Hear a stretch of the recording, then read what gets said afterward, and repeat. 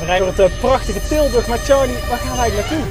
Nou, ik heb een bericht gekregen van eh, Dine en Niels, want ze hebben vannacht om kwart voor drie gemaild naar Omroep Brabant. Kwart voor drie s'nachts. Ja, zo laat, want hun bus is gestolen met Koningsnacht. Nee joh, wat Ja, zuur. het is een oude brandweerbus en we moeten echt gaan kijken of dat we hem ergens kunnen. Ja, we gaan op zoek naar die bus, maar we gaan om ons heen kijken. We gaan er meteen op af.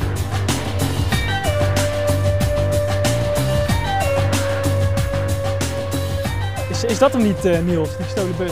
Dat is hem, brandweerbusje. Dat is zo'n auto, dat is zo'n vrachtwagen. Eh, ja, ja.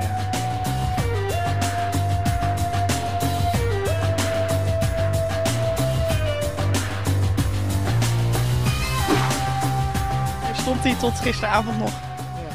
Vannacht is hij dus gejat. Ja, gisteravond tussen half negen en eh 12 uur volgens de buurvrouw. Wat doet het dan met je? Dan kom je hier thuis van het eh, Koningsdagfeest of Koningsnachtfeest. Ja, dat is wel even schrikken, want eh, het is een beetje ongeloofwaardig of zo. Want eh, toen je wegging stond hij de bus er nog en toen kwam je terug, toen was hij opeens weg. Het is gewoon een hele leuke bus. Het is gewoon heel leuk dat je dan eh, gewoon vorig weekend lekker weer, dan kun je gewoon naar het strand rijden, ga je gelijk kamperen. Dat is gewoon heel leuk. Ja. Aan een eh, camperbusje. Ja, en het, het, camp, het, het campingseizoen stond op het punt om te beginnen. Precies, ja. Ja, we hadden vorige week nog eh, het, eh, het busje helemaal een kampeerseizoen klaargemaakt. Een, een, een klein fortuin uitgegeven bij de Action aan eh, plastic curverboxen. En, eh, Waarom is het nou zo, zo lekker om in dat ding te rijden? ja, gewoon, ja, gewoon lekker, lekker checkie rolken, armen uit het raam, weet je wel. Zo'n grote busje, lekker een beetje pruttelt.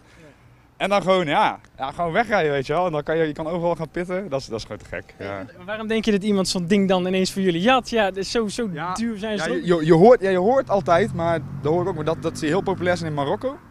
En dat ze dan eh, worden, en dat ze worden verscheept. Dus we gaan nu straks ook even kijken bij de Antwerpse haven. Er schijnt, schijnen ze nog wel eens te worden teruggevonden. Dus ja, dan gaan we proberen of je dan misschien daar... Ook echt, eh, echt, echt specifiek zoeken en rondkijken. Ja, weet je, we hebben eigenlijk alles gedaan. We hebben aangifte gedaan, we hebben, er staat een melding uit. Dus we kunnen eigenlijk niet zoveel meer doen.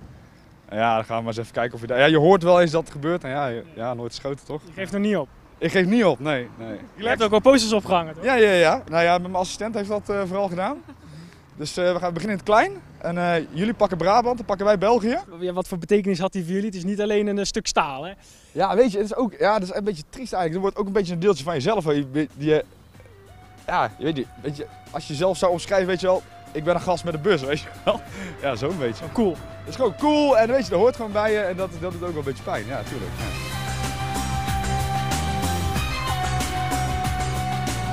Heeft u wat gezien? Ik heb helemaal niks gezien. Rode bus, goed rondkijken. Ja, die stond hier een paar dagen geleden, maar eh, nu niet meer. Dus eh, Goed uitkijken, meezoeken. ik ga hier hartstikke goed meezoeken. Zie je ergens een oude rode brandweerbus? Neem dan contact met ons op. Is zo herkennen aan het schoorsteentje op het dak.